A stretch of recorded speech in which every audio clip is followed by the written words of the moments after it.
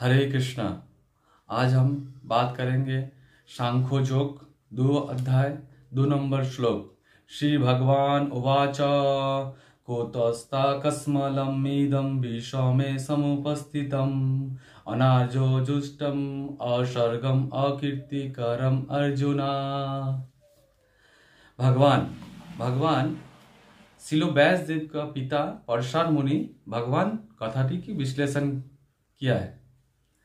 भगवान का अर्थ होता है সমগ্র ঐশ্বর্য সমগ্র বীর্য সমগ্র যশ শ্রী যার মধ্যে বর্তমান তিনি হচ্ছেন ভগবান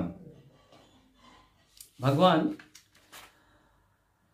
সমগ্র ঐশ্বর্য সমগ্র বীর্য সমগ্র যশ সমগ্র শ্রী সমগ্র জ্ঞান সমগ্র বৈরাগ্য যার মধ্যে বর্তমান তিনি হচ্ছেন ভগবান हरे कृष्णा यहाँ पे अनार्जो, जो जीवन का मूल्य नहीं बुझता है, उसी कहता है अनार्जो।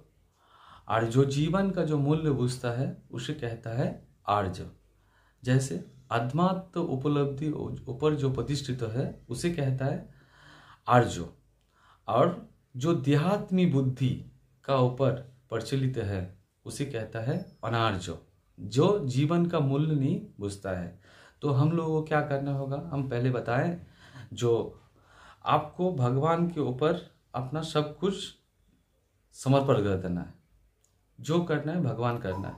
आपको सिर्फ़ भगवान जो कहा हुआ है, भगवत गीता में, उसी के ऊपर आपको चलना है।